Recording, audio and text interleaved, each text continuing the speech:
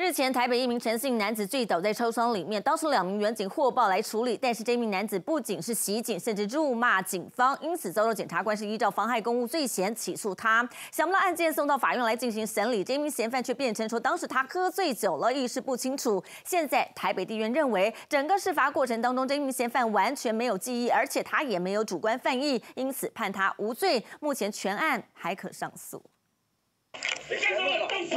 远警获报有人醉倒在超商，一到场却被嫌犯袭击。实在有够倒霉，本来想叫醒嫌犯，不料对方出拳又怒骂。冷静了没有？我呀，要放我我怕你。哎，讲话尊重一点哈，我们是辖区的派出所哈，你再对我们出言不逊的话，我们。可能要依妨碍公务罪给你移送法办哈。酒喝太多袭警，警方当然办妨碍公务，只不过案件送上法院，嫌犯居然被判无罪。百姓打警察，没有没有理由，就算你有理由打，也不应该动手。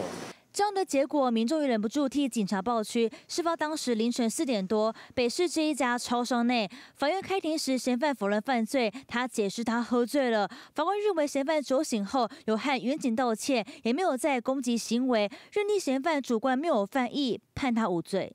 无罪以后，哦，那要看检察官有没有上诉。如果上诉到二审之后，可能要由二审的法院再就这个事实重新再做检视啦。就是他在行为当下，他的精神状况，还有他是否陷于无意识而根本没有故意。那如果是这样子的话，才会是无罪。虽然辖区万华分局回应尊重法官判决，但再看一次画面。